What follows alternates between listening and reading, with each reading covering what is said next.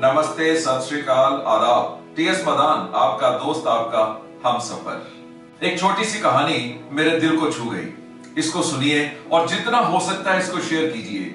हो सकता है हमारी छोटी सी कोशिश समाज में एक पॉजिटिव चेंज ला सके। ये एक पेड़ की कहानी है जिसको एक छोटे से बच्चे से प्यार हो गया था। हर रोज वो बच्चा उस पेड़ के पास आता, उसको जफ्फी देता और उसके पत्ते तोड़ के उनके साथ खेलता। उसकी शाखा पर झूला झूलता, उसके सेब तोड़ के खा जाता, उसके आसपास गोल गोल घूमता और जब थक जाता तो उसी पेड़ के नीचे उसकी छाया में सो जाता। पेड़ को उस बच्चे से प्यार था, उस बच्चे को उस पेड़ से प्यार था। दोनों बहुत खुश थे। इतना प्यार कि पत्ते टूटने पर, सेब छीनने पर भी वो पेड़ उस बच्चे को खुश देखकर खुश हो जाता। समय बीतता गया, वो बच्चा बड़ा हो गया अपनी पढ़ाई में मस्त हो गया और उस पेड़ के पास आना उसका बहुत कम हो गया। एक दिन खाली था, पेड़ की याद आई तो उस पेड़ के पास आ गया। पेड़ बहुत खुश हुआ। बच्चे, कैसे हो? आओ खेलो, मेरे पत्तों के साथ खेलो, मेरे सेब खाओ, मेरे साथ लिपटो। तो बच्चा कहने लगा, मैं अब बड़ा हो गया हूँ, तेरी शाखाओं पर चढ़ नहीं पाऊँगा। मुझे दोस्तों के साथ खेलना है मुझे थोड़े पैसे चाहिए। आप दे सकते हो क्या? तो पेड़ ने कहा, बच्चे, मेरे पास पैसे कहा?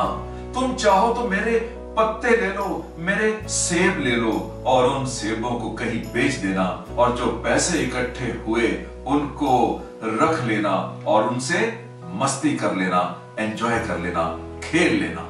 वो बच्चा बहुत खुश हुआ। पेड़ पे चढ़ गया। ढेर सारे सेब तोड़े और उन सेबों को लेके खुशी खुशी चला गया और उसको खुश जाते हुए देखकर पेड़ भी बहुत खुश हुआ। बहुत समय बीत गया। पेड़ इंतज़ार करता रहा, लेकिन वो बच्चा नहीं आता था। वो बच्चा अब बच्चा नहीं रह गया था। बड़ा हो गया था, लेकिन अचानक एक दिन वहाँ आ गया। पेड़ बहुत खुश हुआ। आओ मेरे बच्चे, मेरे साथ खेलो, मेरे आसपास घूमो, मेरे पत्ते तोड़ो, मेरी शाखाओं पर चढ़ो झूला झूलो, मेरे सेब खाओ। तो बच्चा बोला, मेरे पास इन चीज़ों के लिए टाइम नहीं है, मैंने और भी काम करने हैं। मेरी अब वाइफ है, मेरे बच्चे हैं, उनके लिए घर चाहिए। आप घर दे सकते हो क्या? तो पेड़ कहने लगा, मेरे पास घर कहा? ये जंगल ही मेरा घर है। हाँ एक काम कर सकते हो।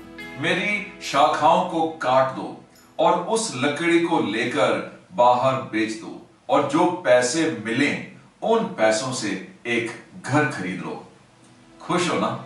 उस बच्चे ने, जो अब बच्चा नहीं रह गया था, पेड़ की शाखाओं को काटा और खुशी खुशी अपने साथ ले गया और उसको खुश देखकर पेड़ अपनी पीड़ा भूल गया और खुश हो गया।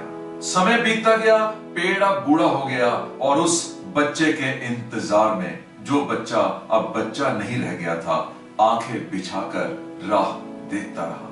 कि अचानक वो बड़ा हो गया बच्चा, वहाँ आ गया। पेड़ अब बूढ़ा हो चुका था। उसकी शाखाएँ तो पहले से ही कट चुकी थी। उसके पास पत्ते भी नहीं थे, ना ही उसके पास अब सेब थे। मरी हुई आवाज़ में बोला, बच्चे, आओ मेरे बच्चे मेरे साथ खेलो। वो पेड़, अब मैं बच्चा नहीं रह गया हूँ, बड़ा हो गया हूँ। तूने तो कुछ करना नहीं होता, मैंने बहुत कुछ करना है। एक सपना अधूरा रह गया है।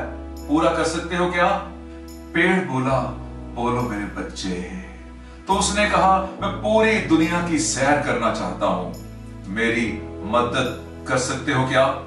पेड़ ने कहा, मेरे बच्चे, मेरे पास तो केवल ये तना ही बचा है। इसको ले जाओ और बेच के जो पैसे मिले, उनसे दुनिया देखो, अपना ये अधूरा सपना पूरा करो। तो उस बड़े हो गए बच्चे ने उस तने को भी काटा और खुशी खुशी वहाँ से चला गया। पेट से वो दर्द सही नहीं जा रही थी, लेकिन उस बच्चे को देखकर बहुत खुश हुआ। और ऐसे करते करते कई साल निकल गए। वो बच्चा भी अब बूढ़ा हो चुका था। अचानक एक दिन फिर वहाँ आया। पेड़ की आँखों में पानी था। कहने लगा, आओ बेटा, आओ। आओ मेरे बच्चे, मेरे पास आओ। लेकिन मुझे माफ़ करना, मेरे पास कुछ भी नहीं बचा अब तुझे देने को। तो वो बच्चा जो अब बूढ़ा हो चुका था, कहने लगा, मेरे पास कौन से अब दांत बचे हैं वो सेब खाने को? तो पेड़ ने कहा, मेरे पास शाखाएँ भी तो नहीं है, जहाँ तुम खेल सको।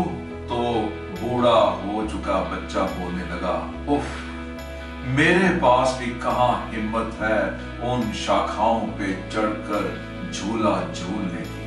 पर मेरे बच्चे, मेरे पास तो वो तना भी नहीं है, जो अब तेरे काम आ सके।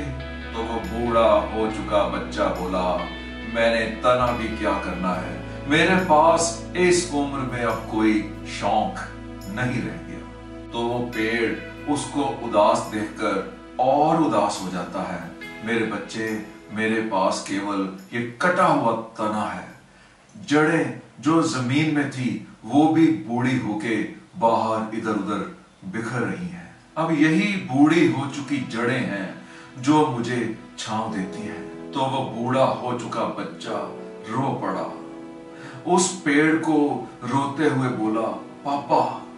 उसके मुँह से पापा निकला। पापा, अब मैं भी थक चुका हूँ। मुझे कुछ नहीं चाहिए। बस थोड़ी सी आराम करने की जगह चाहिए।